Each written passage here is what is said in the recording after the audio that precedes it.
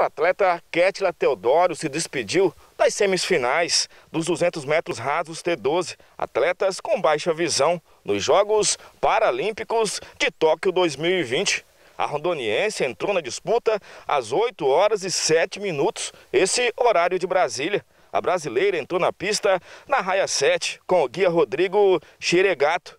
Teodoro terminou com 26 segundos e 74 milésimos. Logo, nos primeiros 50 metros, as adversárias imprimiram um ritmo forte. Duran Elias, de Cuba, ficou na primeira colocação, na bateria, com 23 segundos. Completaram as primeiras colocações Pérez Lopes, da Venezuela, com 23 segundos, e Garcia Falagan, da Espanha, com 26 segundos.